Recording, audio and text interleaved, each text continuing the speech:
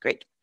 So hello everyone, my name is Katerina Anastasiou. I am a facilitator in Transform Europe and today I have the honor to technically support this uh, webinar organized by the Marx Fem uh, and also my colleague Heidemarie Ambrosch who will be take caring, uh, taking care of the moderation of this webinar. For the beginning now, I will try to make sure that everyone has their settings correct, because as you know, and you can see, we will offer interpretation today. So I will ask all of you, also the attendees that are not visible now to follow my instructions.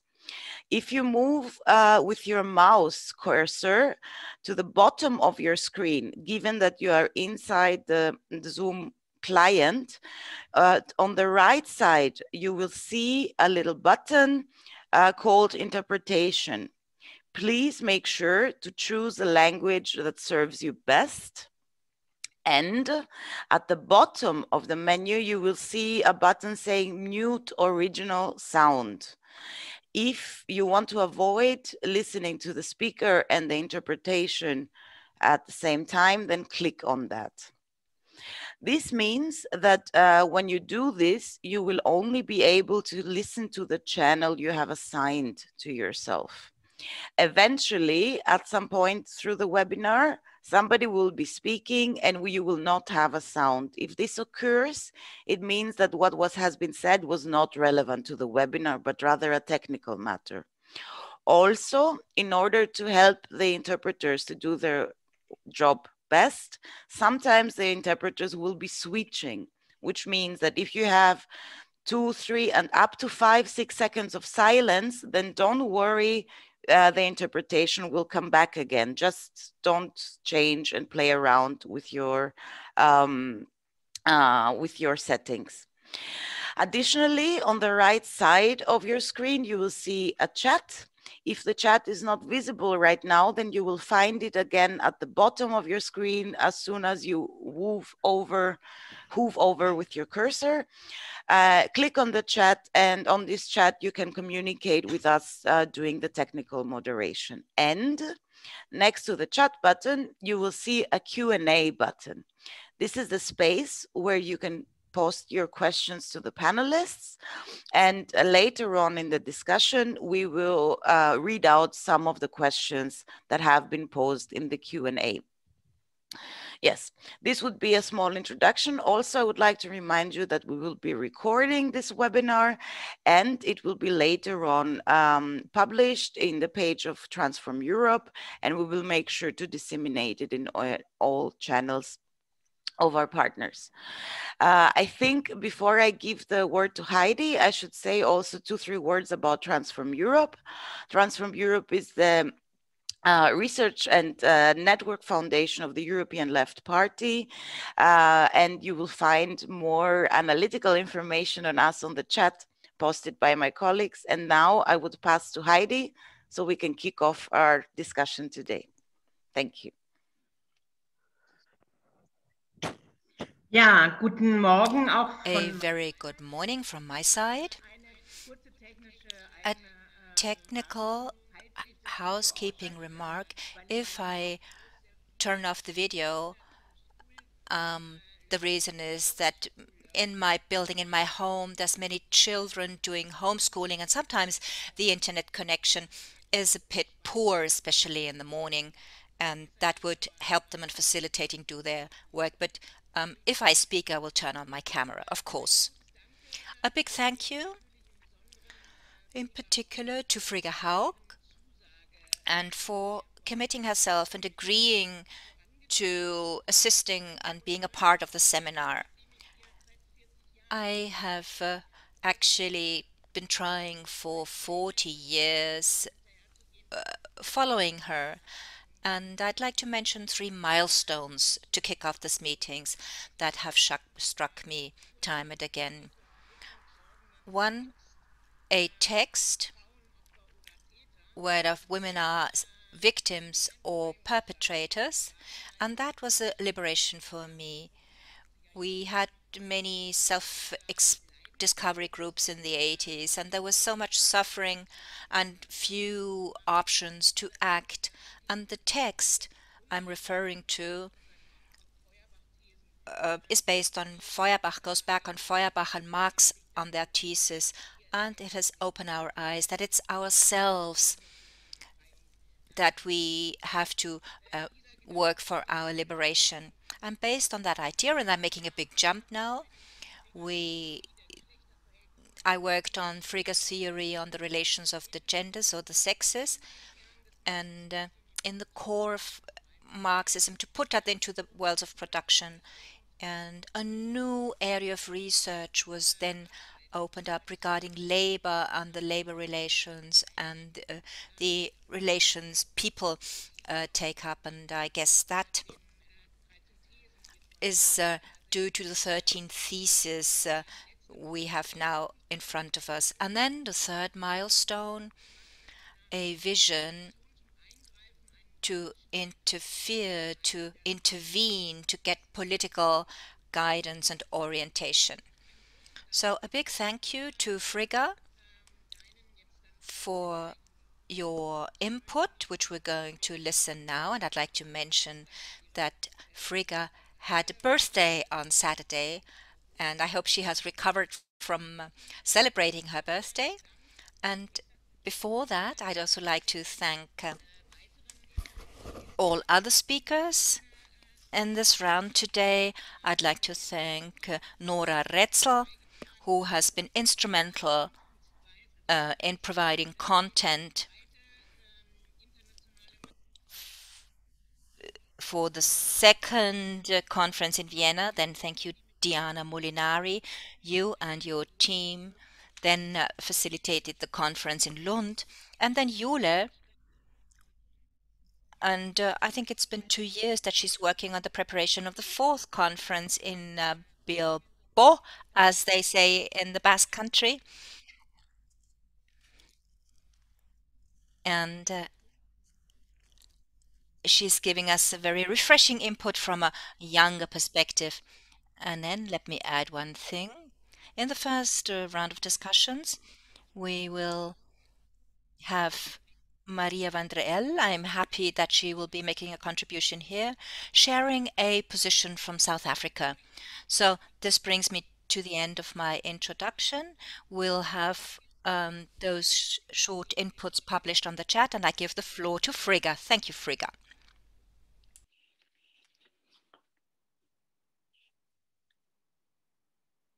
So we haven't tried if it's correct. Thank you. I'm very happy to be with you today. That after all the difficulties, we managed to at least act as if we're having the fourth International Marxist Feminist Conference.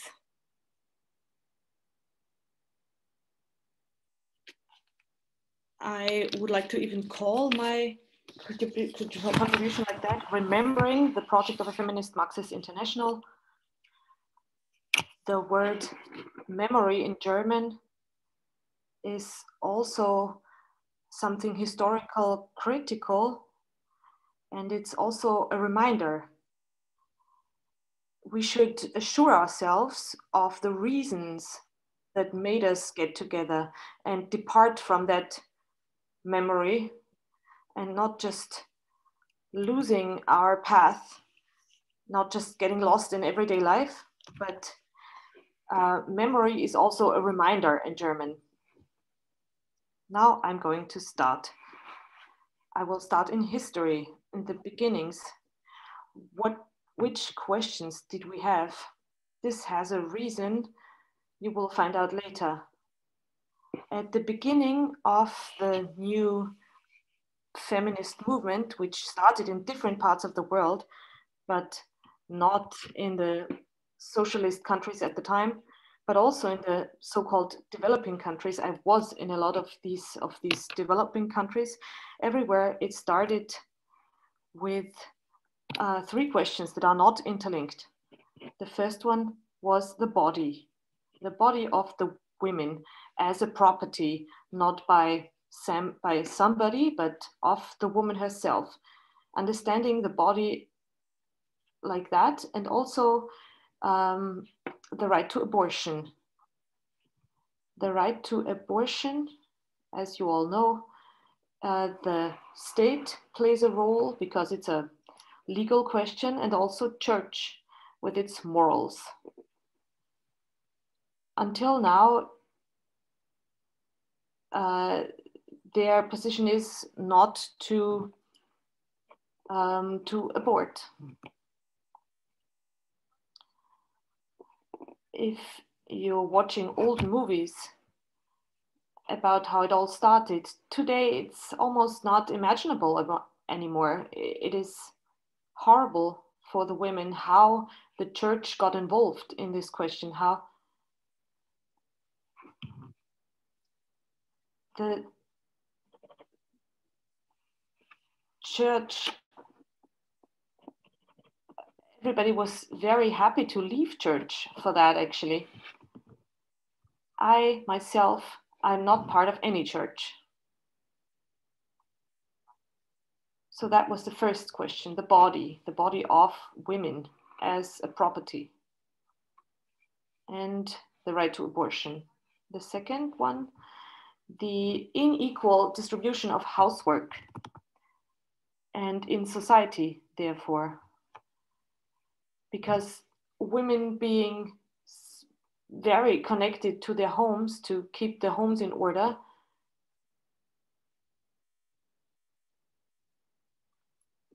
The subalternity of the women and also of their rights. I don't know what it was like in the countries, in other countries, even though I wrote about that, but I do remember that when I was still studying, that women weren't allowed to have a job without the permission of their husband. Today, that's unimaginable. It's so anachronistic that either the father or the husband had to agree. I I had to make sure to keep my child after divorce, but I couldn't get a job because then I couldn't take care of my kid. So they really got involved in everything. That was in the 60s. There was a very big congress in Frankfurt in the Paul's Church, Paulskirche. Today now, uh, there's a lot of dispute what kind of position it should have in history, this church. So we thought we have to go to Paul's church and introduce women as historical subjects. So that Congress was called Human Rights Don't Know Gender. And that was in brackets, like, so it sounded like human rights have gender. That was the second question. The relationship to the workers' movement that was very strong at the time. That was the third big question. So, because it was all about who do we want to conduct our political work with? for example, on the 1st of May, on the day of work, where, so the decision, where do you walk on the march and which posters are you holding up? And so on. So the affiliations, it was very, very important. It was very important who you march with. Of course, what the um, enthusiastic women's movement was, of course, naturally a part of the workers' movement. But on the other side, it was also exactly not part of it because it had to do her own thing. And then the study of Marxist theory. So they would have a reason and, and know what the position of the women in society is to find out why are women marginalized in society. We somehow have to study this if we cannot change that, we have to be more radical and go back to the roots. studying Marxist theory was was a duty to all of us women who were enthusiastic because first of all women in Marxist theory did not really have a place. Wage labor is something that men do and women don't work. Also in Marx, you see that the, the male is always the breadwinner. Even Marx says that, and that's even the exact way he says it. You may know that from his works. It's it, nobody talks about the reproduction of the workers, but the wage laborer has to have enough so he can care for his family.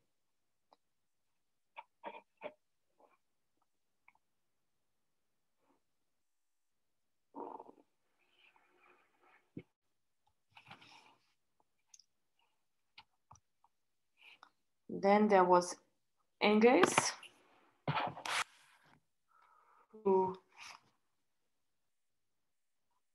with the working class?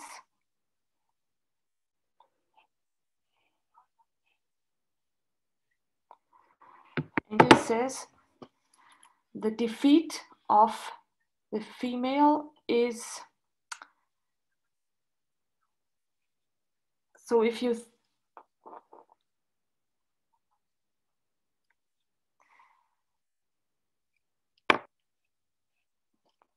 Um, so if um,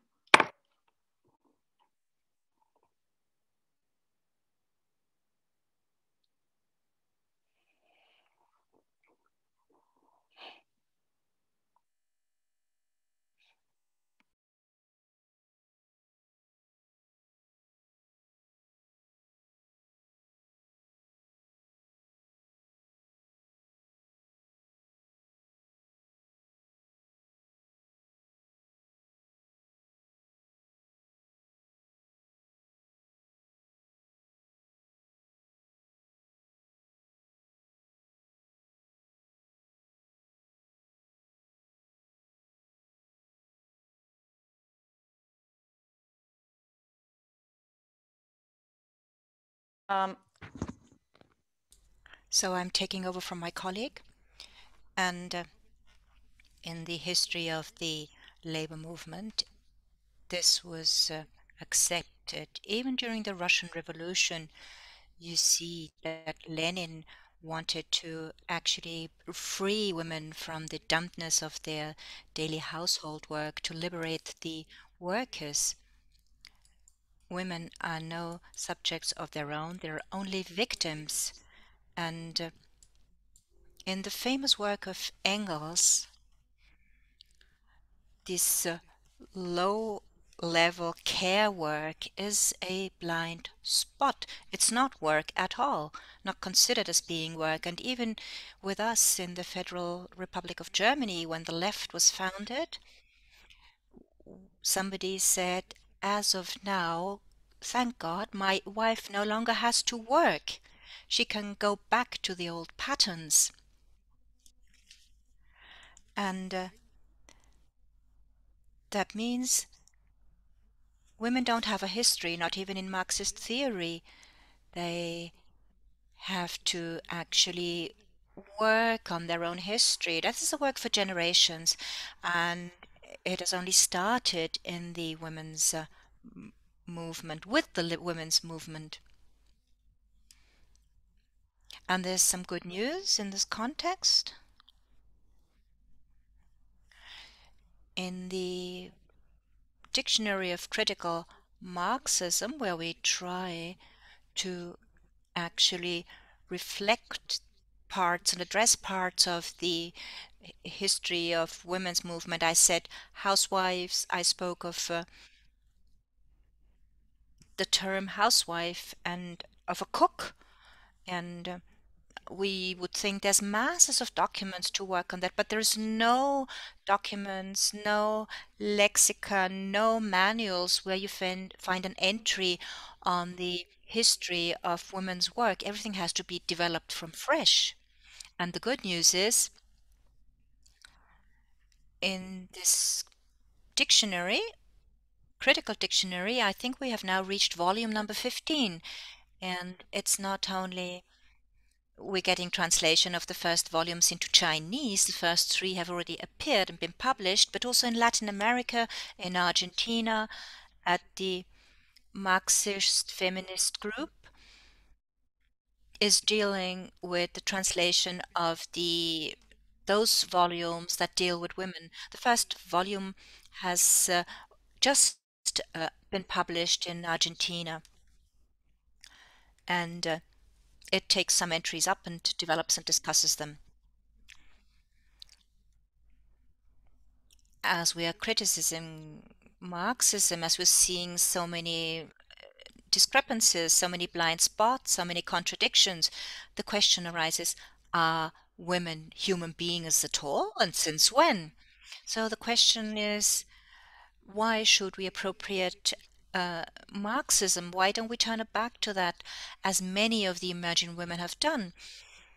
If uh, there's so big criticism of Marxism, and here I have a simple answer. Marxist theory stands for an analysis of the deep structure of society. It is necessary in order to be able not to be deceived by superficial mainstreaming or equality. And if women get equal rights, and if you have women in leading positions, if you have share, proportionate share of women in bodies, in company bodies, you would believe that we've achieved everything. But no, don't uh, be misguided. This does not reflect practice, does not reflect experience, and does not reflect the thoughts and the feelings of so many of the masses. But women are still marginalized. They are secondary, and uh, this is something that spreads across all walks of life at all spheres of life. Now, if you if we want to do something, we need to bring about change. Many people will have to work on that change. And I had hoped initially, when I had said I would attend Bilbao and make an input there, I would have hoped that I would meet there many wonderful Marxist women who would help in our project and who would actually volunteer to um, work on those entries in the dictionary. And in Germany, there's no more Marxist women left. There's nobody available to help us do that job. And uh, I would have hoped that with Spain, with Bilbao, we would kick off this uh, work on the dictionary. Maybe that we could uh, have four or five keywords relating to women out of this massive volume of entries in that dictionary. And then as we are fighting and struggling for understanding, for enlightenment, for findings, if we want to change our society, and this is something we have to do, if we want to cope with and deal with the marginalization of women, then that would have to mean that we all empower women to do that. And uh, that would be a huge program, a huge effort in education and training of women and young girls. That should be part and parcel of our endeavors. I had a dream, and that dream is that uh, there's one big uh, institution, a university, a scientific institution where all those activities could be pooled and bundled I summarize that into one thesis, humanization of Marxism. I'm not quite sure in the meantime whether humanization is an appropriate expression, a fitting expression. It might be phrased differently. Perhaps we could rephrase that. What do I mean? I mean that if we have Marxism as it is, the way that we have the male provider being supported, that uh, wage labor is uh, not for women. If you think of all these uh, blind spots in existing Marxism, if we discover all that and explore all that, that would mean that the decline or the ingression of feminism into Marxism is a renewal. It adds life to it. It criticizes what we have, and that means that the Marxist theory of feminism can be critically explored so that it would enrich Marxist work. And I think this renewal, this adding new life to Marxist theory is something that uh, we could call humanization. But of course, we can discuss this term. And then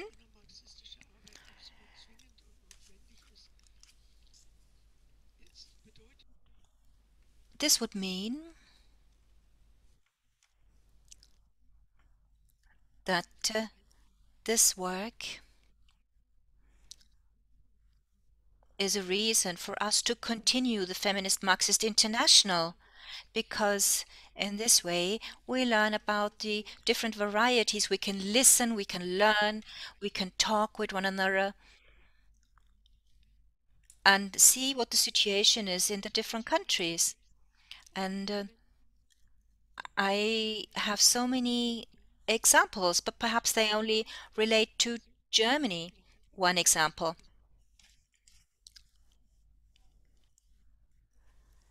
That is typical of Germany and cannot be translated to other countries. Heidi said in the beginning that we have the thesis of the victim and the perpetrator. She said that no regime can work without the agreement, without the consent of those who are suppressed. It has to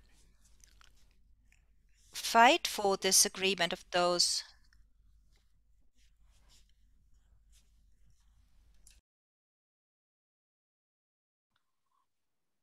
So we have to all agree to being suppressed.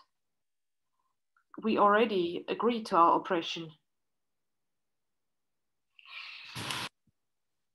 So this is, it's the case that in Germany, there is a very small communist party that we collaborated with as a magazine and well, we also friends with but excluded myself from the left because this victim aggressor thesis, I rejected it. I pleaded for an uh, the for applying the Feuerbach thesis on women. So I lost all my students.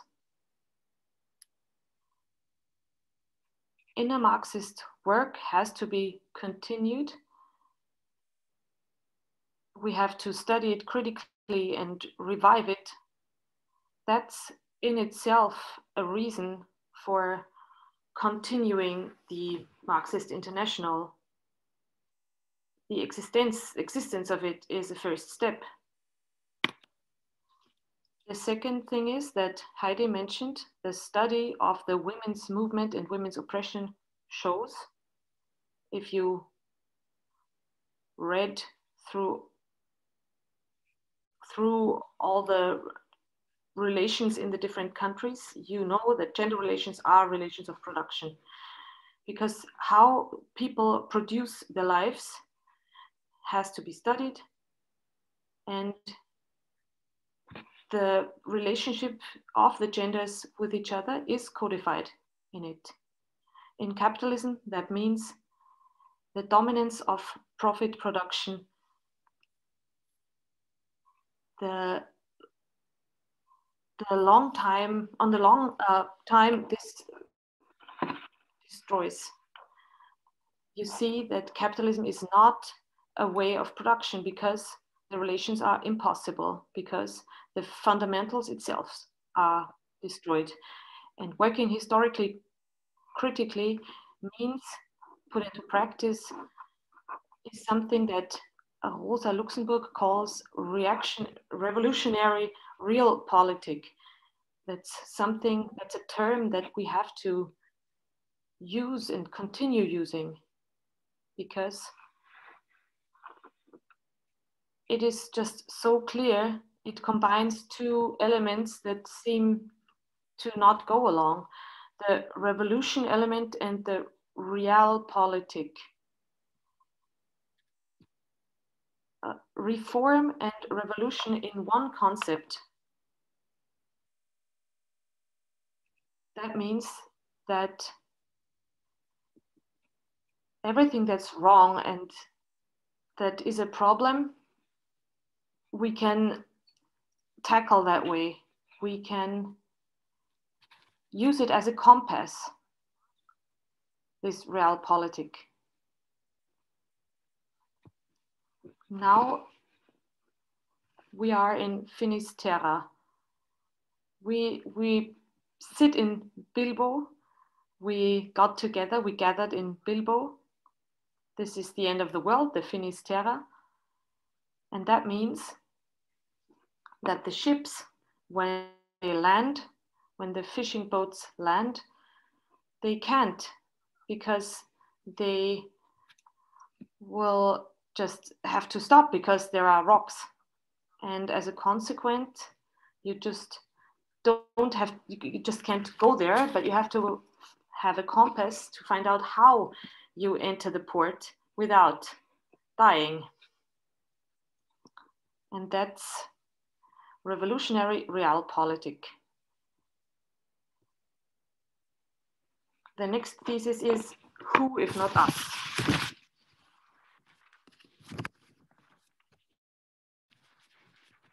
I talked about this with Heidi before. We wanted to propose that our proposal is if we shouldn't call our manifest that name, who if not us? Who should uh, research gender relations as relations of production, if not us? The version I had prepared for you, you can find on the internet in a detailed way. It also encompasses what we have to do for it. It's about the history of our struggles, and the experiences of our struggles. Like Marx, that females have to know their situation and really know uh, their own knowledge. It's a necessity that the standpoint of women is necessary. It's not just sectarian. And that's why I added the text of Rosa Luxemburg because she's a Marxist and nobody really called her a feminist. She's actually quite far from taking up the woman's perspective. In this quote, she uses the feminist perspective, even though you all have it. So it's also on the recording because it's so um, so interesting.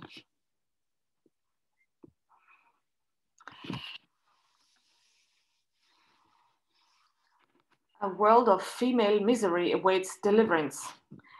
Here the wife of the small farmer groans, almost breaking under the burden of life. There in German Africa, in the Kalahari Desert, the bones of defenseless Herero women bleach, driven to a cruel death from hunger and thirst by German soldiers. In the high mountains of Putumayo on the other side of the ocean, unheard by the world, death screams die away of the martyred Indian women in the rubber plantations of the international capitalists proletarian women, poorest of the poor, those with the least rights, hurry to the fight for the liberation of the female sex and the human race from the terrors of the rule of capital. That's in volume 4.1, page 112. In the beginning, I talked about the liberation from subalternity, which has also to be seen from the inside. We need something that Rosa Luxemburg calls education.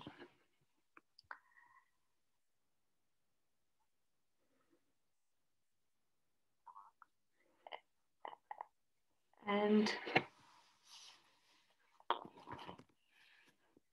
if we don't liberate ourselves, it remains without consequences for us. That's already the declination of the formulation. Only capital has to be got rid of, and then women can be liberated by the workers, but not that way. It has it. If we don't liberate ourselves, we won't see the consequence of it because we were uh, we were also um, suppressing ourselves. We need to study oppression theories, liberation theories, also in feminism. We need a method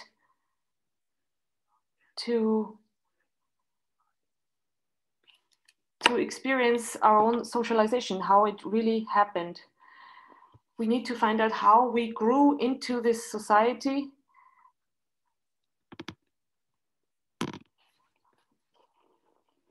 Being an active part doesn't mean being just a functional part of the society, but changing the conditions in which we are active and defining it like that. We have developed a, a specific method for that, and that's memory work.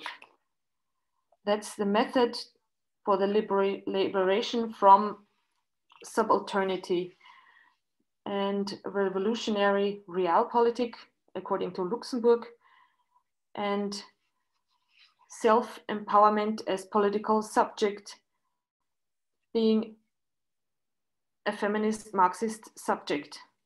Gramsci, Antonio Gramsci, he inspired memory work he proposes. Memory work was inspired by Gramsci, actually the other way around. In the prison books, if we want to discuss that, I can present you that. He says education for the many has to be organized that you show that you can um, you can, you can get an audience if this focus is really um, emanating warmth. We socialist women, we introduced an autumn academy, which is different in any country, of course, what you can do in the framework of that, which uh, focuses on societal changes and it's about studying the classics. So it's twofold. So we want to revive and review. If we go into connections, what does that mean? Since the beginning of the women's movement, other movements who are not wrong or we should not fight against them, such as the workers' movement, since our beginning, they try to make the women's movement ridiculous. They try to ignore us. And then when it becomes stronger, to just incorporate it. This is always happening, and this is true for any kind of movement. Not giving into that um, leads to internal fights and needs to the fact that we need to strengthen what feminist and Marxist uh, struggle is for the women as actors in the general uh, liberation struggles have a special responsibility. And this is thin ice now. I hope you help me, you will help me formulate this because women I don't want to say that women as human beings are different than men. It's about humans. But within humanity, women are in a special responsibility because reproduction of humanity happens through their bodies. This means uh, they are half of humanity, of humankind, who are equipped with consciousness and with responsibility for the catastrophes happening in the human nature relationship. Nature is not a subject, but humans are subjects who are to blame for everything that happens. The female part of humankind, as Rosa Luxemburg says, is not only different and in, in oppressed in a more horrible way, it's also excluded from, from academics uh, men are 800 years ahead. That's what you see if you work in academia. There's so many blind spots because women were just not there in academia because they haven't been working academically.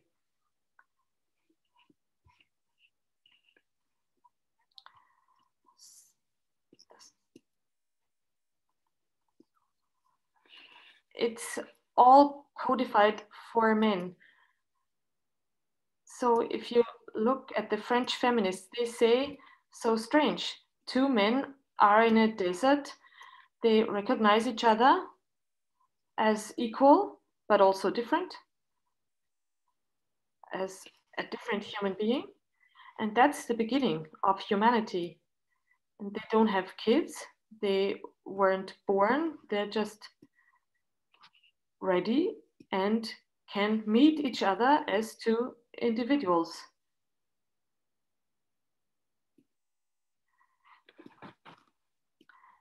So that the whole philosophy, the whole Western philosophy is internally male, codified for males.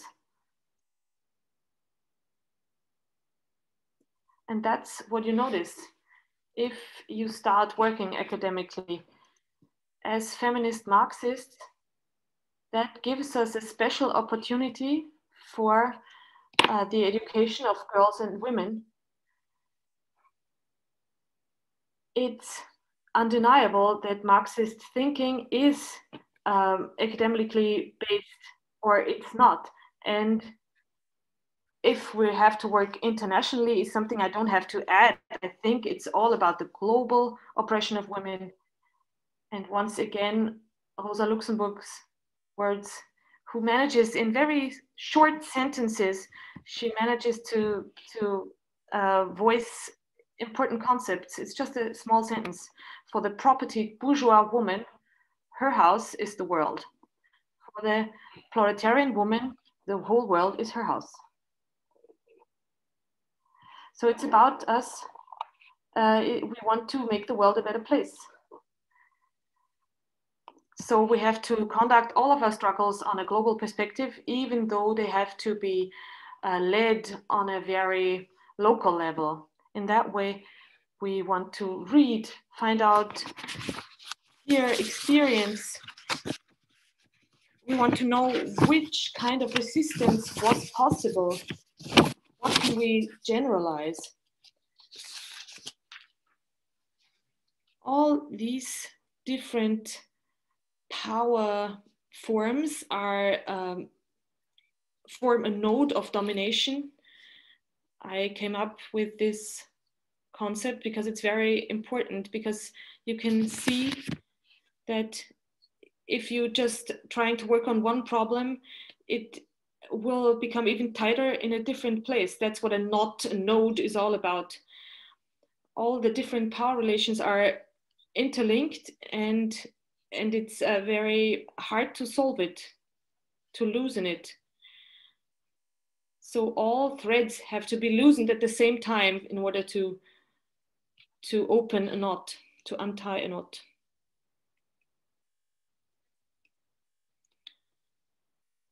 the motions I wanted to table that we should discuss for the really the in reality the the conference next year that will actually take place in real life, so to speak. Let's see if it's actually possible next year. So that's what I uh, I want to put forward.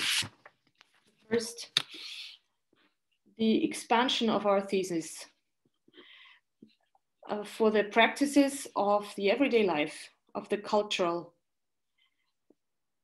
and with the, the work with the subjects in uh, subalternity. We want to formulate that more clearly. Maybe we can introduce a working group for that. And the second motion is let's not, as we said before,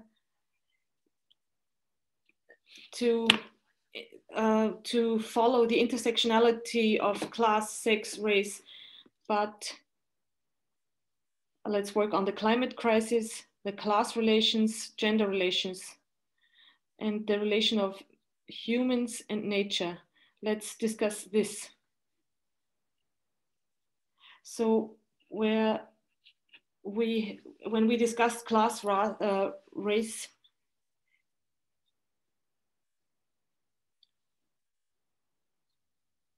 So these are some points we have not discussed yet, clearly.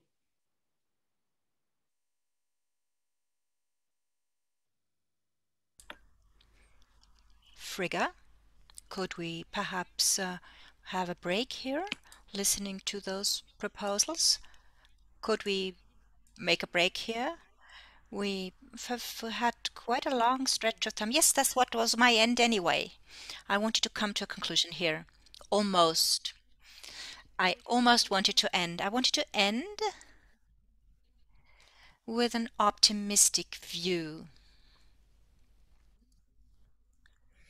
If we work dialectically, if we see contradictions as a driving force, and there's so many crises around us, uh, and uh, if we see that our situation deteriorates, corona, natural disasters, uh, etc., etc., then you will see that there's not only pessimism, but there's also reason, strangely, a development of self-awareness of uh, society, of women. Never ever in history have we seen so much social responsibility being practiced during the migration crisis and now during the pandemic and uh,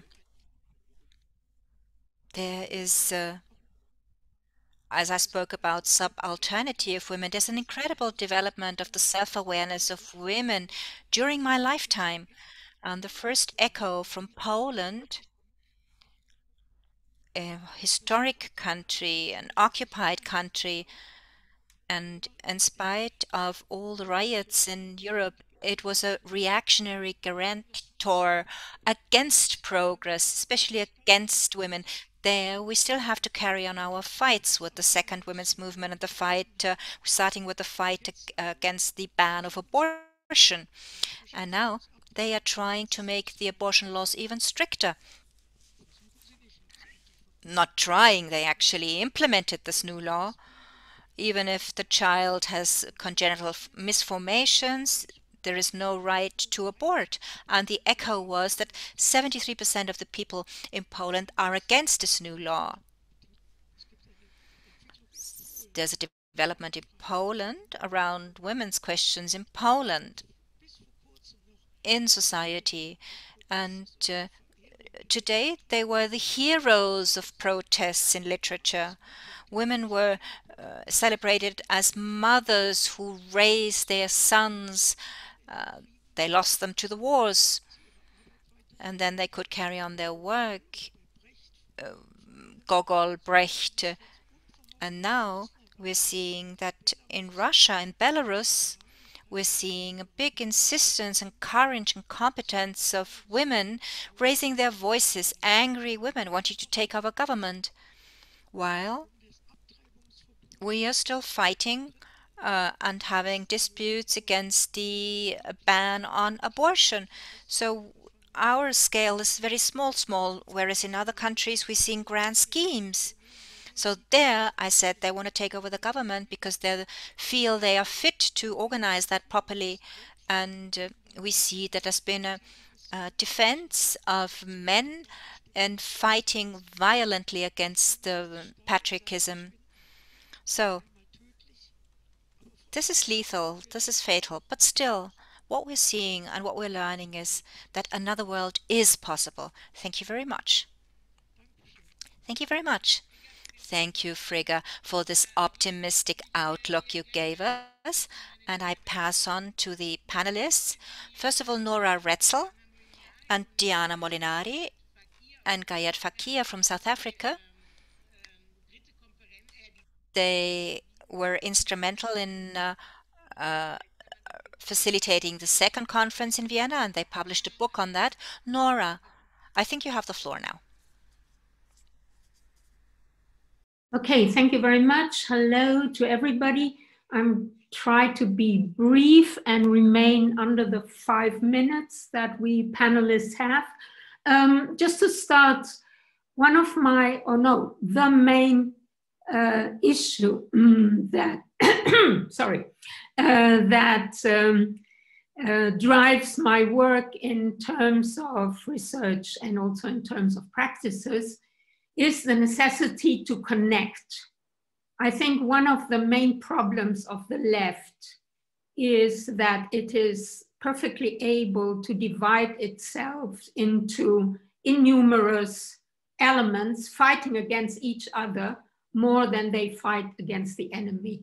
So I think something that we should have learned from the history of the left is that what we need is connection as I'm working on the relationship between nature and labor and, and human nature and um, external human nature, um, the splits that I see are the splits between ecofeminists, feminists, socialists, ecologists, the ecofeminists work in the area of subsistence work and care work, the feminists working predominantly in the area of care work, and the socialist ecologists working predominantly in the area of industrialized work and service work, uh, predominantly in the, in the global north, one has to say.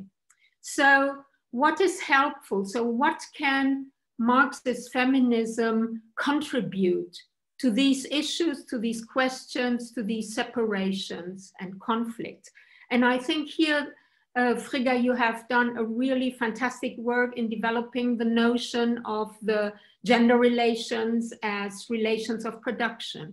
Because I mean, I think precisely this kind of concept is able to um, connect uh, the different ways or the different domains in, in which different parts of the left in the ecological area are working. Why? Because um, I think what we need to see is that all sorts of work, all domains of work are subsumed under capitalism. And this includes household work, unpaid work, and care work, subsistence farming, everything that is often by ecofeminists seen as something that is different, that is kind of good, and that can be an example for all kinds of work uh, to overcome capitalist uh, relations of productions. I think if we think of um, the gender relations as relations of productions, what we see is that the production of life and the production for life are domains that work like communicating vessels. That is, if something happens in one area, that will have repercussions in the other area. Maybe communicating vessels is not the perfect term because it doesn't put into the center the relations of power between the two areas, but just to think that, for instance, uh, if we if we think of it like communicating vessels for a moment, we can see that there, the care work is not something that can happen in an area of homogenizing spaces or in the housework. But if something happens in the area of the production of work, it will immediately affect the way in which unpaid work and care work is conducted. And I give you one little example. For instance, the burning down of the Amazonas that is in the center of our concern at the moment everywhere uh, is done, for instance, to raise cattle. This cattle is needed in order to produce leather that are then used, for instance, in German Porsche cars. So you see the connection between that. And that destruction of the Amazon destroys subsistence work, destroys the work of women in the farming and the unpaid in the household, and also has repercussions of all the work that is done in the global north. So if we think about gender relations at relations of production, what we learn is, and I think, and, and what we have as a perspective for research is that all kinds of work are in the within the struggle against capitalism and all kinds of work need to be liberated from this privatizing, exploitative relations of production in order to overcome the situation we are here, we are in, in terms of the exploitation of work and the exploitation of the earth. And that means, and I finish with that, that there is a need for coalition and cooperation and common struggles between all the peoples male, female, and other genders in the global north and the global so south because our kinds of work are all connected and are connected in a way that they are exploited and privatized by the capitalist system. Thank you.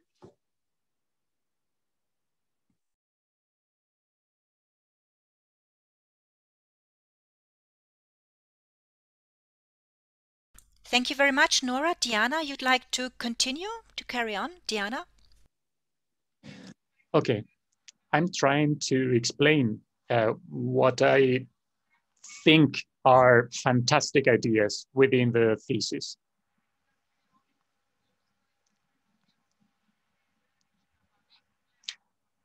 I think you have to switch your interpretation off, I, I believe. Would you prefer me to speak English so everybody can understand me directly?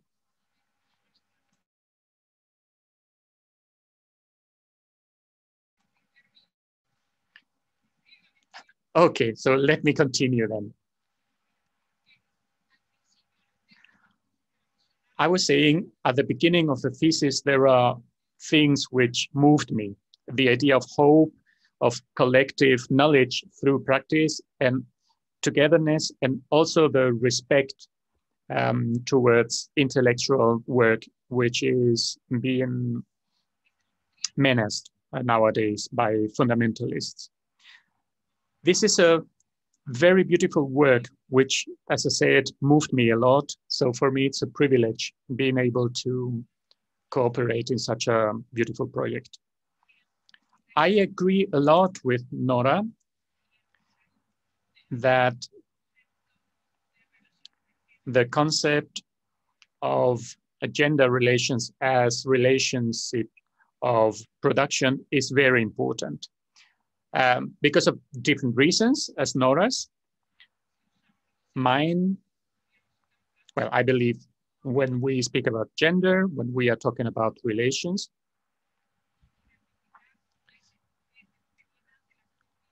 we don't need to identify the heterogeneity of um, the term women. We don't have to speak about racism, uh, sexuality, and so on.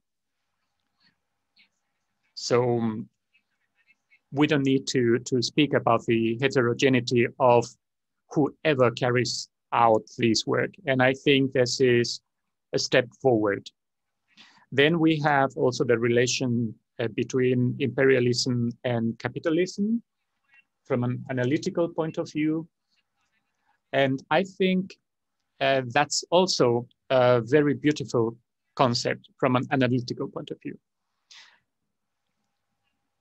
Okay, and finally, I would like to say some things I would like to discuss. I said these couple of things are very beautiful. I would like to protect them and develop them.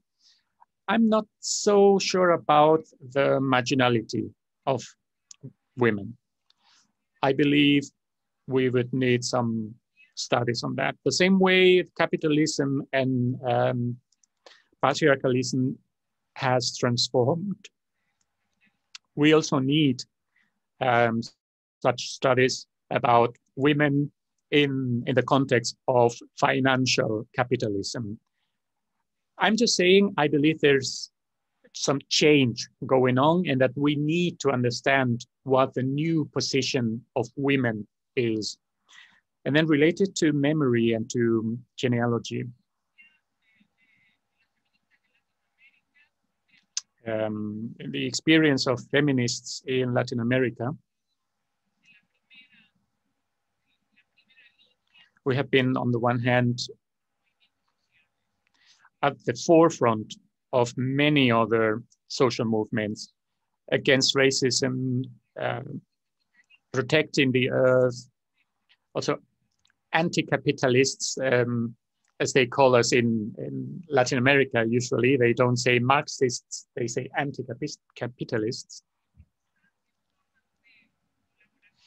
I believe we need to think of ways of cooperating, of integrating and also think that probably there are no Marxist feminists, like pure Marxist uh, feminists. They are always also related to some other struggles. So um, these views of feminism uh, are usually integrated in some other uh, struggles. Well, sorry for having moved around so much. Um, and as I said, thank you very much, Frigga, for organizing this. Um, and Nora, I, I love um, arguing with you and I love you. And thank you, everybody, for your great work. Thank you very much, Anna. And I now give the floor to Julia. She has a bit more than five minutes because she's uh, uh, preparing the next conference and this is why she has more time.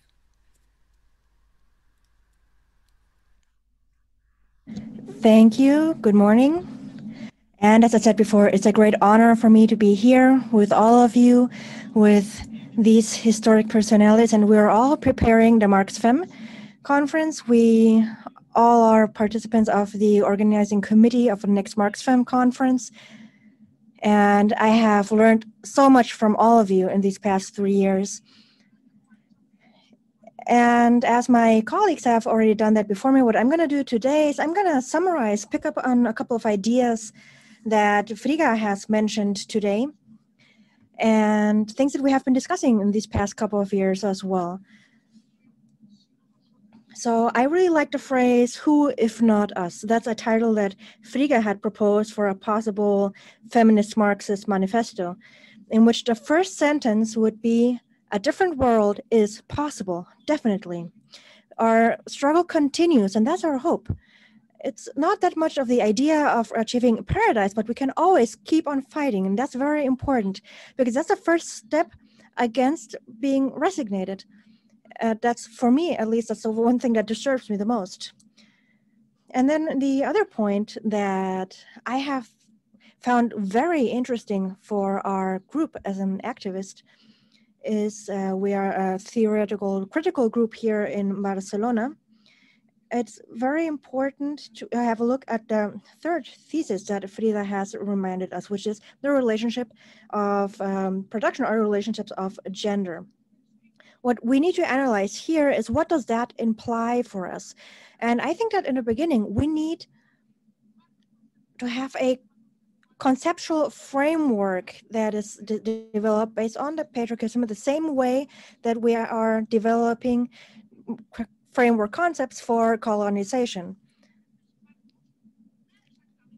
And we need to be able to see how they are connected, how they develop together, how this is patriarchal capitalism develop? Because if we do not have these conceptual framework from the patriarchy or the colonialism we're always going to be thinking in terms of one single conceptual framework. And that we need to open this up again so we can think about the implications it has when it comes to relationships of gender being relationships of production. What is it what you want to see with this precisely? Because we need to define it.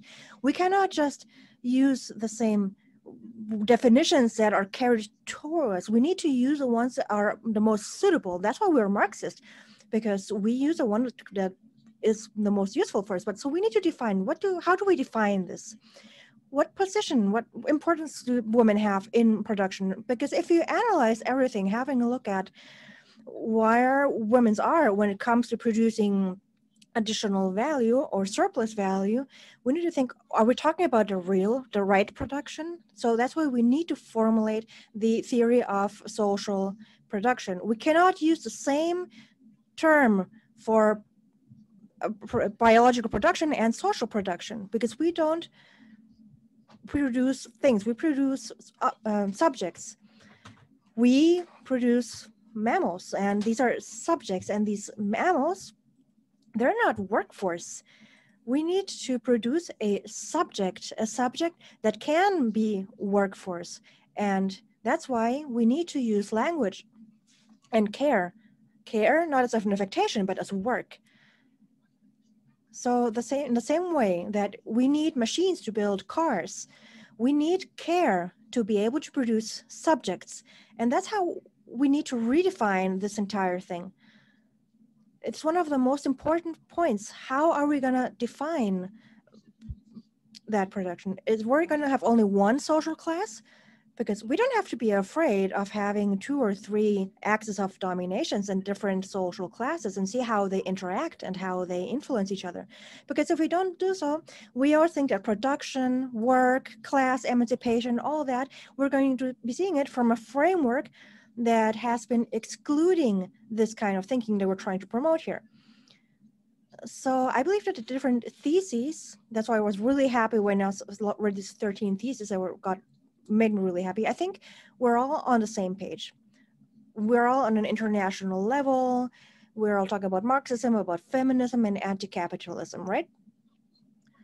So on one side, thanks to all of you, thanks to this generation and everything that they have done previously, which is a groundwork what they have done, what are we talking about when we're talking about unpaid labor? and how do we translate that into value of things that we produce? For example, 4% of the gross internal product, uh, gross product from the world comes from care work, right? We know that. So now we need to try to help the next generations to work with this as well. And you have to start looking at work in a very different way, not only regarding the capitalist properties, but also when it comes to the patriarchal relationships, when it comes to a national level or colonial level as well. Because these are sub-alternate things that we need to have a look at, not only from a material point of view, but from all these different point of view, different kinds of domination that we have. On the other hand, we also have to take into account how these production relationships are linked to the mechanisms of exploitation, of exploitation not only of people, but exploitation through the fam heteronormative family and in general the androcentric structures. Because patriarchy, like colonialism, is a particular system of material production. We are not something that's symbolic or souls that are somewhere around there in the ether. Being a woman is something material as well. So we need to describe this material faculty. We, it is not reduced to economic production as it has been defined before. It is so much more. Our first materialism, our first material is our body. But since everything has been done from a patriarchal point of view, a misogynist point of view, this has been eradicated from the entire concept. So that's something that when we talk about violence, we're talking about economic violence, for example, other kinds of violence. We talk about women who are being marginalized, and they usually talk about symbolic violence or cultural violence, as if as if violence was symbolic and something that's just fluttering around there in outer space.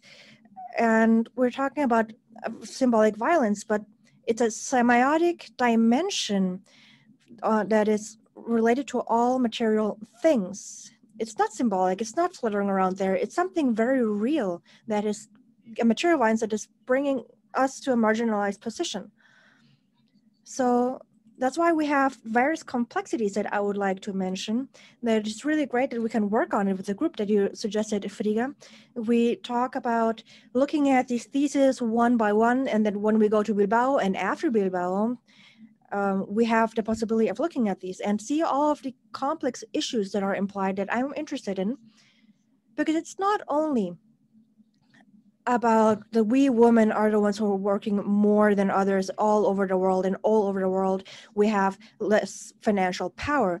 It's not that we have less cultural and uh, symbolic capital. And when it comes to symbolic we're talking about the capacity of producing our own emancipatory categories and not to have someone else to produce it and we adopt. We need to produce them ourselves and we need to explain and I just want to recap, uh, come back to the topic of social class. Uh, we're not talking about subalternative bodies or subalternative bodies because why, why are we talking about classes? Why are we talking about groups and not classes? How are we going to define a social class? Because we need to be able to explain that we not, it's not only that we work more and earn less, but there are actually killing us because we are women. They're raping us because we are women, not because we work more, but because we're women. And housework is something that men are not doing in their home, not because they're men, not because they're workers or white. No, it's because it happens all over the world in all social strata it's something that we need to understand is patriarchal colonial patriarchism. It's a concept, it's a system that has been developed on the basis of patriarchism, out of patriarchy and colonialism. And that's something that we need to discuss. How can we use what we have seen in this thesis in this context? What is the difference between a feudal patriarchy and a capitalist patriarchy?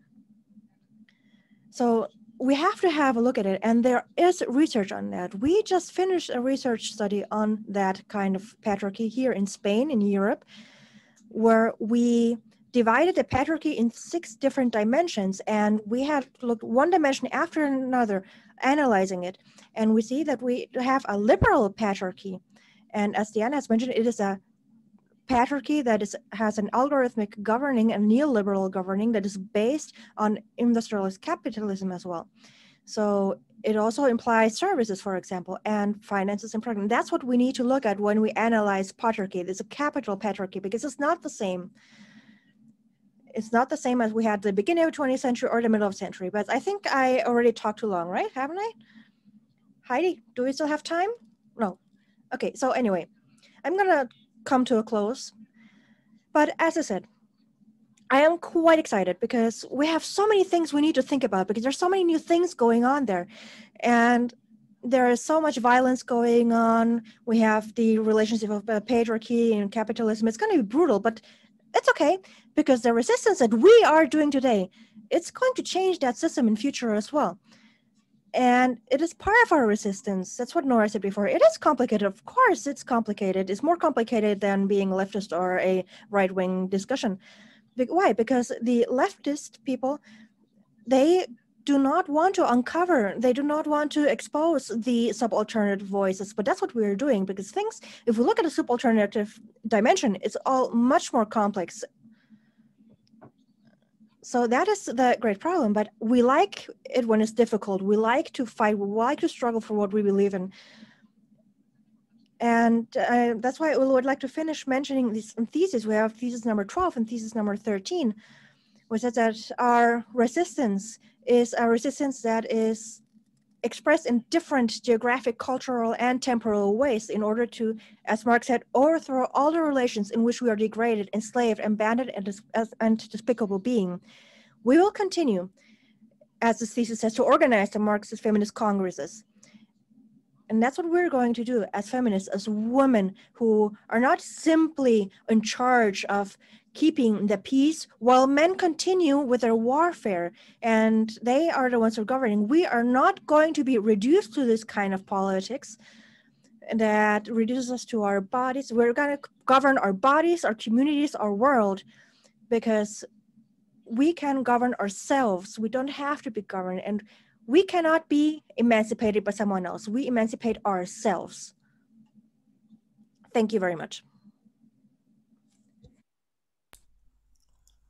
Thank you very much, Jula. And for the first round, I have Maria van Driel, our voice from South Africa. Could I invite her to talk to us and share her thoughts? Could we have her video started? Marie, are you there?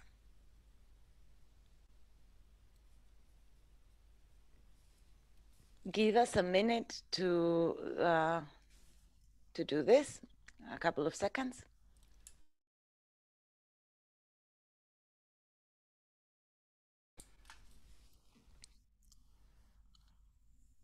Well, we are pressed for time.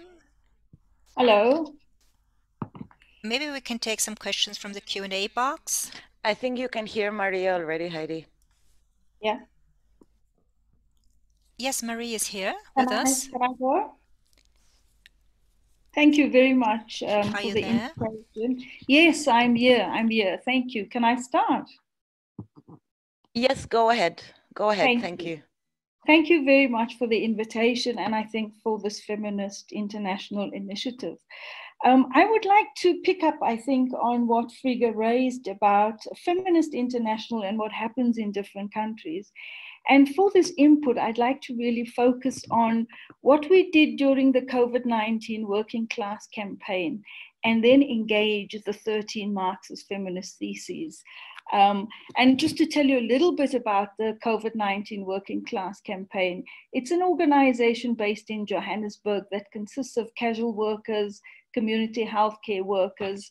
Um, it also consists of extended public works, you know, small contract volunteer workers, small independent unions that don't fit into the bargaining council, to small or kicked out of the bargaining council as well, tenants, etc., and so forth.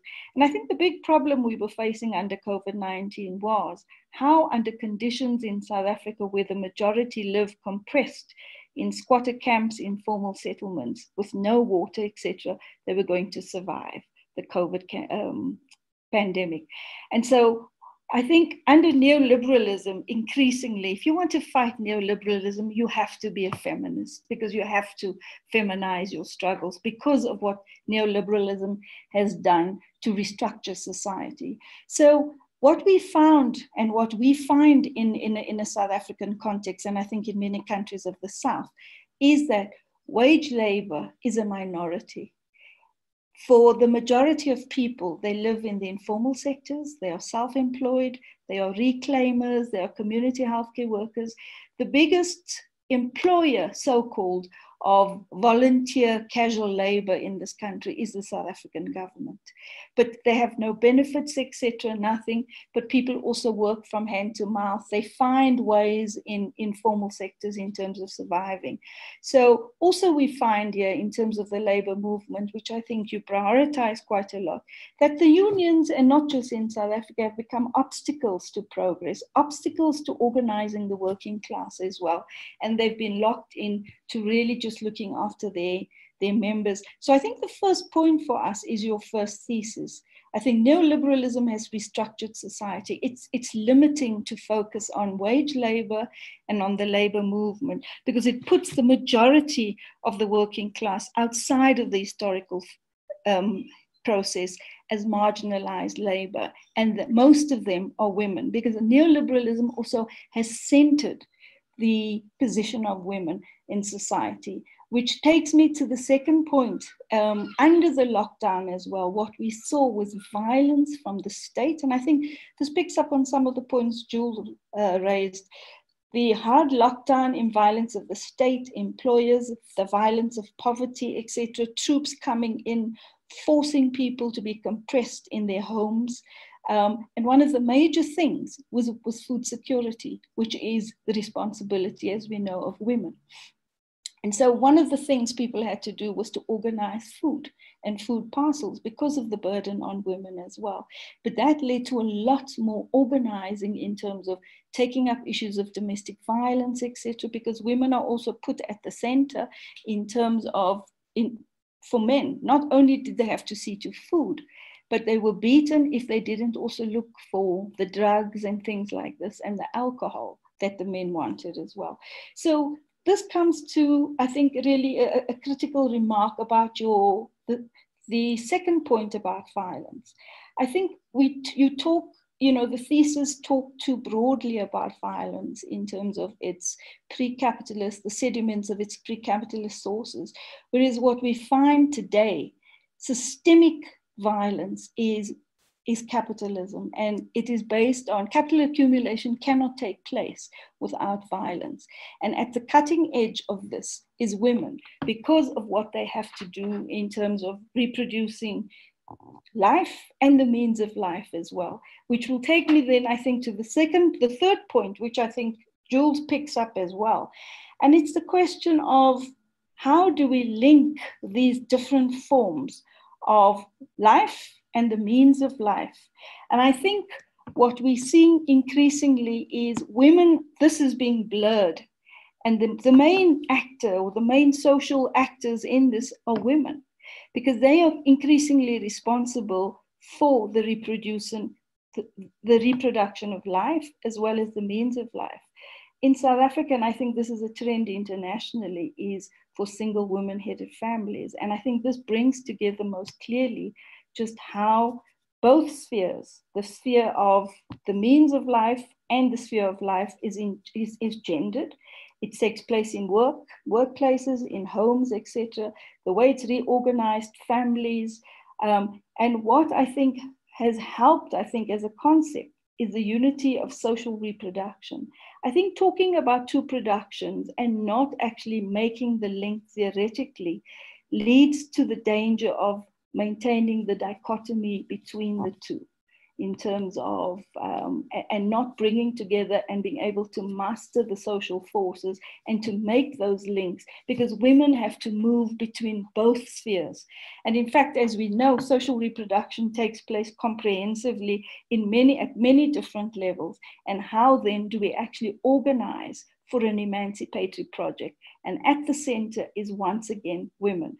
And then my last point um, and I'm very conscious of the time, is the question of as we were organizing women, what became very critical was looking at the unity of theory and organizing. Because once the women were organized, the important point was to understand the world to be conscious subjects, purposeful actors.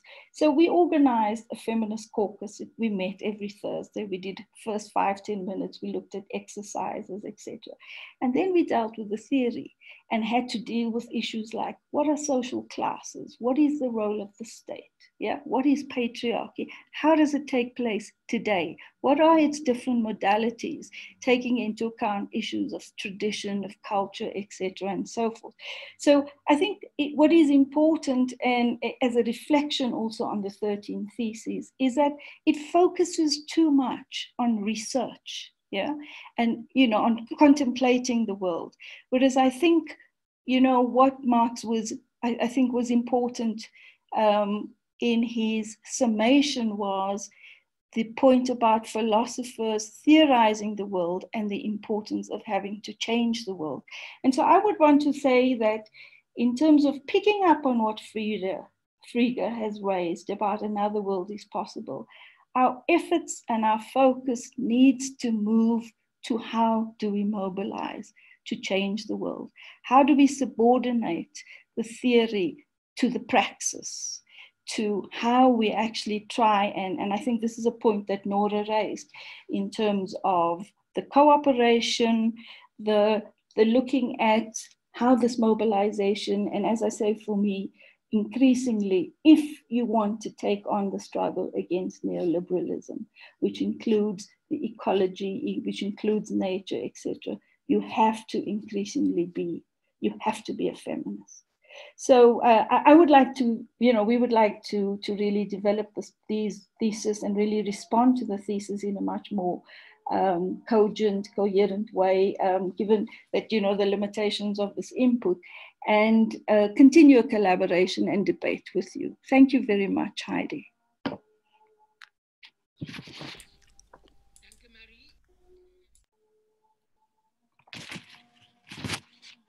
Maria, thank you, Maria. We only have half an hour left. We would have needed three hours, actually. I, uh, we, we're going to take up some questions from the Q&A box. I think some were already answered directly, maybe one or two that we can use for the final round. Yes. Katharina, please. Thank you, Heidi. Um, so, uh, first of all, thank you to my colleagues Tatiana Moutinho and Barbara Steiner, who have been picking up the questions coming in the Q&A box and directly answering them when it was possible. There's still three open questions. Uh, one of them uh, regards the last point uh, that Maria already made. Um, what are the strategies uh, in the fight against capitalist patriarchal uh, oppression systems. Then um, the second question, I mean, it's not a question, it's rather a comment, I think, um, asking Frigga to elaborate a little bit on the communicating vessels uh, she mentioned. And then um, there is a question, how can social movements be involved as co-creators in the project of Marxist Feminist International? Yeah, and uh, there was a question on quotations and sources, but this is being taken care of. So the two main questions for the speakers for the last round would be, what are the steps and the strategy in order to open up and include social movements in the Marxist Feminist International? Thank you very much. I would like to add to about the proposal of Frigga we're still preparing the next conference in Bilbao, and maybe we want to establish this working group she proposed to further elaborate the thesis. Also, Julia mentioned that Frigga has already introduced some new thoughts. Maybe you could also introduce that. Who wants to start? Nora, maybe, because you were directly asked. Sorry, I just needed to go to the English channel um, the communicating vessels, what I'm, maybe Frigga could answer that better, but since I use the concept, she can correct me or add on. Uh, what I meant with the communicating vessels is to say quite bluntly that I see a tendency within some feminist research to conceptualize care work as something that is not part of the capitalist system of exploitation. Terms of being a good kind of work you know like caring for people bringing up the children caring for the old caring for the sick and so on. What i want to say with seeing that as communicating vessels is that the forms of privatization egocentrism, exploitation within the work process also take, takes place within the care work itself, itself because it is part of that system. It cannot be somewhere in a harmonious little ball where it deals differently. It is in itself contradictory, you know, it's also care, it's helping, like building a house is also kind of care because it's caring for the needs that we have. So, what I want to say is all kinds of work that happen today are at the same time, simultaneously, productive, creative, um, caring, and simultaneously exploitative, destructive, and privatized. That is one point. The other point is what happens in the area of the production of the means of life, uh, the way it is organized is immediately connected to the production of life. To give an example of our research very shortly in Volvo, Mexico. The workers at Volvo, Mexico did not earn a living wage. The way that they could survive was by relying on their partners to work extra to create uh, care work that was needed and was unpaid. And the only reason why the workers could survive on a non surviving wage was that because capital could exploit the family work, the unpaid work of women. This is just a small example. This, of course, happens in society at, at large. So, what I wanted to um, emphasize was the need to see the connections of these domains of work, but at the same time, the way in which both are characterized by the character of capitalist exploitative work, even if it's care work and unpaid. Thanks. Thank you, Nora. Jule or, or, uh, or Diana, or should I just give the floor to Frigga? Frigga, there's a lot of contradictions.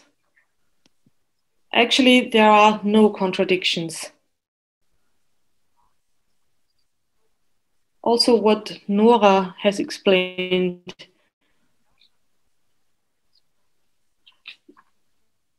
power is a network.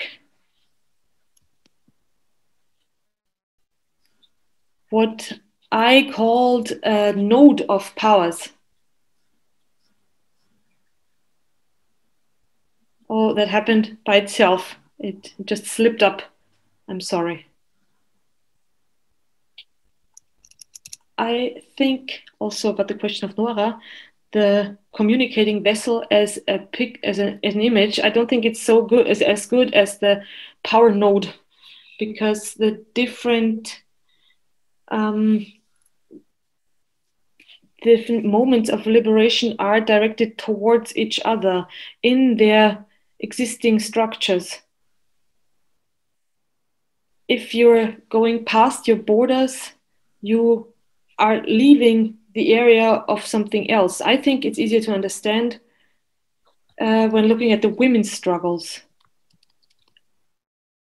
The working class worked towards have having their own wife, but that's really um, something very offensive to women. So every worker has his own wife. So you can immediately imagine if you read the capital, what happens if there is no wife with the kids? You can immediately imagine that. Even if military reproduction doesn't work anymore because the working class is just became too small and health is ruined.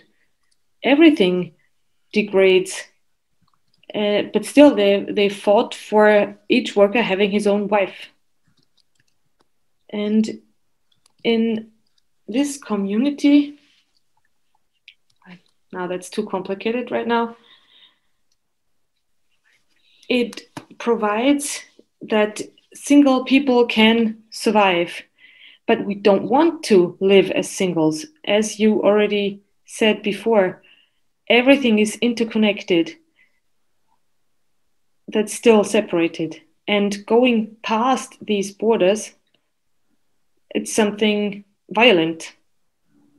It opens up all sorts of channels. Um, I think it's not even it's not becoming clearer now. Um, it's because I'm thinking at the same time about what said Diana, and that I'm, I'm just going to start at that point. Diana sent us something about the second round analytical and theoretical the marxist theory is all good and fine but it's not humanism ethic, ethics and humanism is something else. It's not inside Marxism, and I wanted to contradict. And I wanted to make it very easily so that everybody can understand.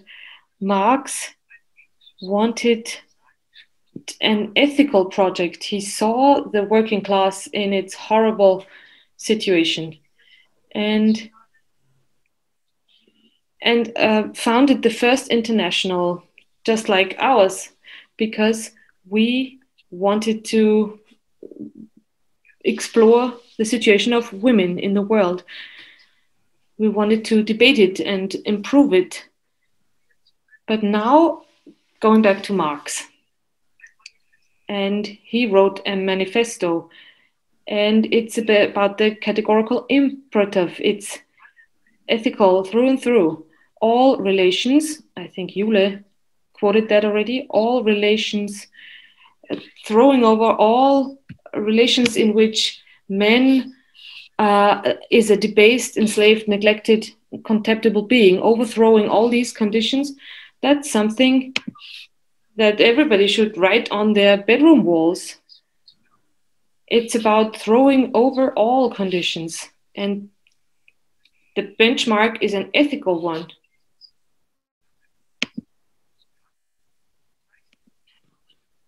At the same time the working class was founded and he and he analyzed the relations of production.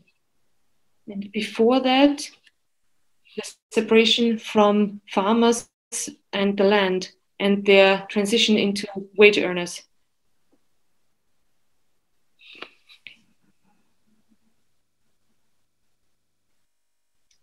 Somehow,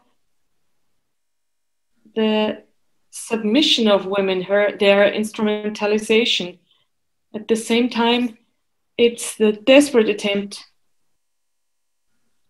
in weird conditions to find um, a way out to liberate elements. All these different uh, powers form a node, and the limits have to be passed by everyone together.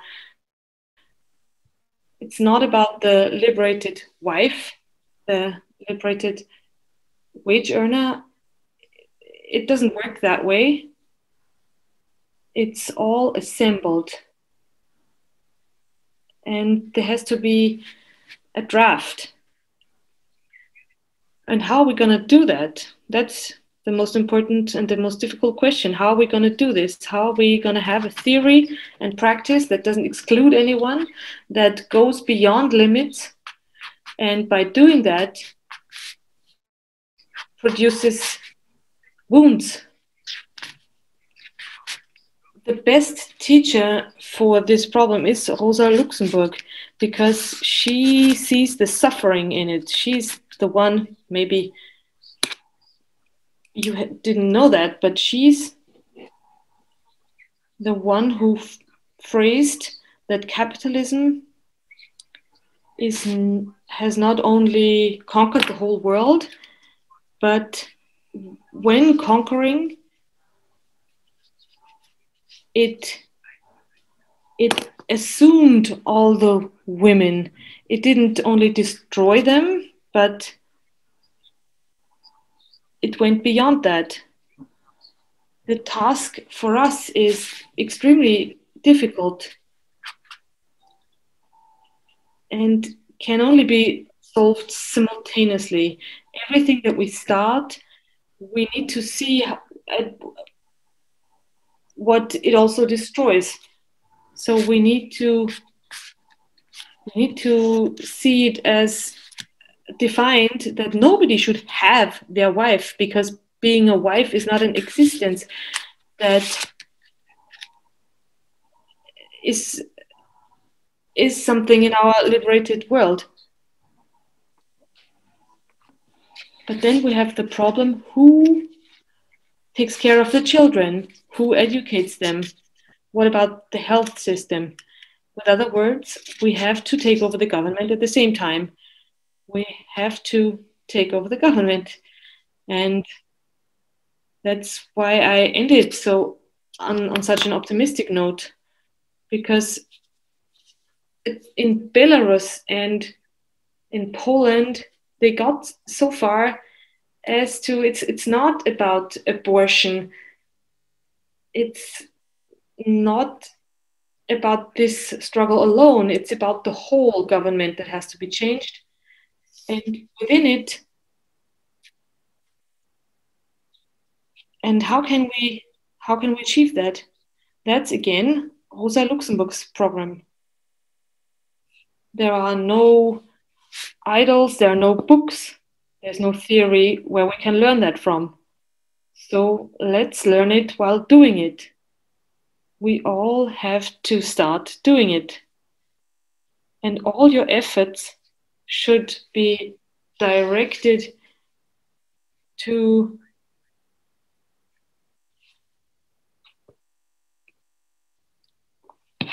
to empower everyone to take the things in their own hands. And let's not wait for anyone to tell us who where's left and right.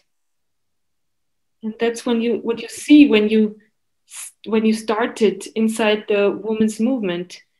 You see how how the single individuals uh, become so much more once they start doing it those who are mute can suddenly speak and can suddenly um, drag others along. So our message, the message inside Marxism and the Communist Manifesto, inside the categorical imperatives, is something is an ethical formulation as well as an enthusiast, enthusiastic one. It's also everyone at any time any moment in time. Critical, self critical, experimental, and always rediscuss questions. Questions might be different. But for us, it's an ideal place if we, for once, don't have a digital discussion we have to report each other where we managed to um, to progress in the different countries. So that many people managed to achieve something. I think nora wants to say something. Nora? Just very, very shortly, I wanted to connect what you said last, uh, Frigga, to what Maria said, because I think that was exactly her point how through organizing and at the same time having um, uh, context where you learn and where you develop your own theory that is exactly the way in which we can learn also internationally how in different contexts in different international contexts women and other people are doing exactly that through organizing, also learning and creating their own concepts and theories. So I just wanted to say that that is an important element that can also be discussed at the next conference in the way in which Maria suggested. So we are reaching the end of our webinar. In the Q&A box, Somebody asked about uh, the lack of queer transgender Marxist perspective. And maybe Jule can explain that and elaborate on that. We've had uh, many reactions to the call that ended in March of this year, and we had many inputs which we received. And uh, in in what we got for the preparation of the next conference, I do see we need to include those concepts more strongly. Julia, would you like to comment on that? Yes. Well, on one side, effectively, yes, there are many panelists, many communicators um, that are talking about this topic as it has been defined. What I propose here, my idea regarding this question, is that I think, as we mentioned it before, it is necessary to try to interpret um, the theory from a materialist point of view. Because as many other things, all of these currents, and we know it because history has shown how it's been. You can, for example, put a theory on the table, and this theory can be used by different groups and be interpreted in different ways, which is what has been happening now with this theory that we're talking about today. So we also have to talk about the theories that before being theorized in this way, they have already been practiced, the queer theories, because it is a theory that comes from the working class. It's a group of practices that comes from the working class that is then theorized about by different people, not only academics, but also activists. And what we need to try to do is we need to try to understand the material dimension that this queer theory tries to transmit, because the queer theory is a perspective regarding the materialism and the materiality in the body. It's a new perspective.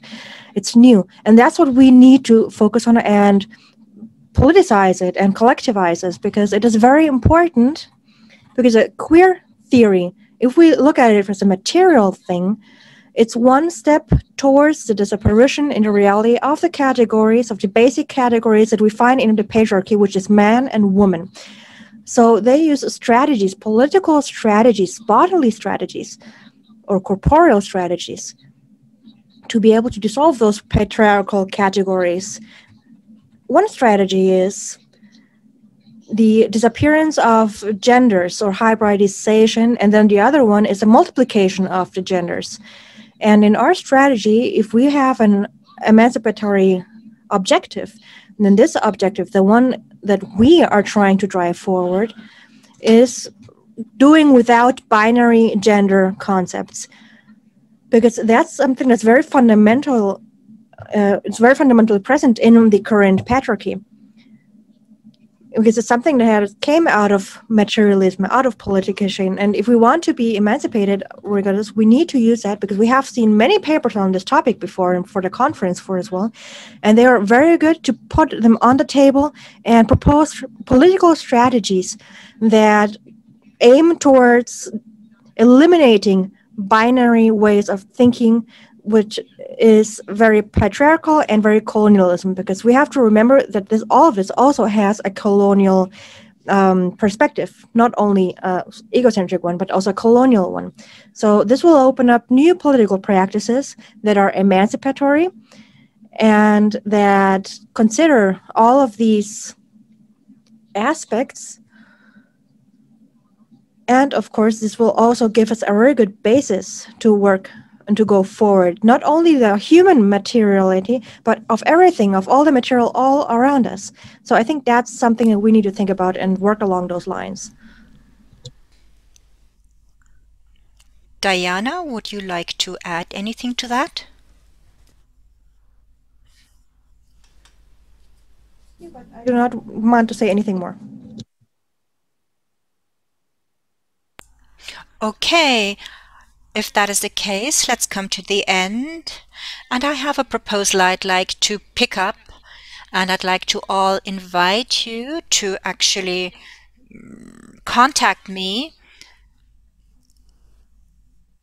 And we had a similar proposal in the chat that before our real conference, we'll have another webinar in spring. And there perhaps we could work on our theoretical structure and foundation. So not about thesis and expansion of the thesis, amendment of the thesis, changes of the thesis. That might be an idea. And I'd like to discuss that with my Basque colleagues, how we can handle that together and host it together. That would be one proposal so that we can proceed uh, step by step to take things forward so that we don't have to wait for the real conference, but that we do some groundwork ahead and do some in-depth work on some thesis ahead during an online seminar. Diana. Thank you. I think it would be good if we could maybe make some kind of a division of labor and do something before we meet again. Maybe we can. I, am not saying that we should write five books, but maybe we could all each write one page, uh, con- focusing on one concept or one part of a thesis, and that will help us advance with a more concrete measures because I like to see you and I'm always really happy to see you all, but it's also nice to work with a text, right? So my proposal is that yes, I think it's a really good idea to do so. We should do it, but maybe we should do a bit of a division of labor, and um, maybe someone can just pick a topic and comment it, right?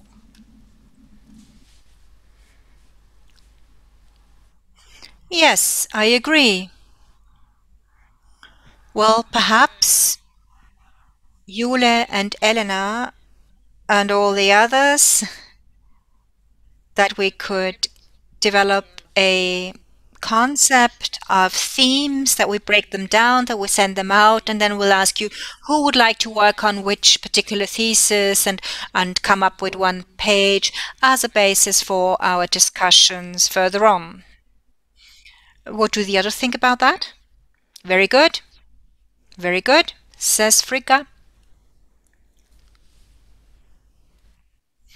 Perfect I think uh, it's three minutes to 12.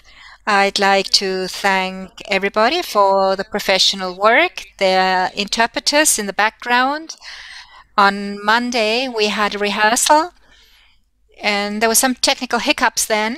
So it was good to have that rehearsal because today everything worked well. Thank you very much, Karina, Michaela, Romy, who have we our interpreters in uh, Spain, Javier, etc., etc. So thank you, everybody. Thank you to my team. Without Barbara, Katerina, Tatiana, this would not have been possible for me to do that. They do the preparations. They make sure that everything is posted on our website, that it's on Facebook, that it's put online. I'd like to thank the panelists, Frigga, Nora, Jule, Diana, and Maria. I'd like to thank you all. And the only thing that is left to say to me is uh, uh, let's enjoy our good future cooperation. Thank you very much.